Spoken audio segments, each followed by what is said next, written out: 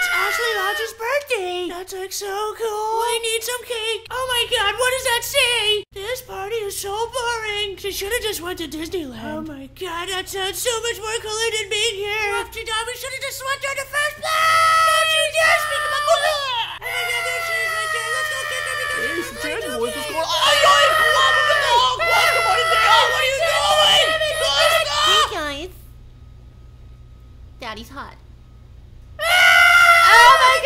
can't believe that.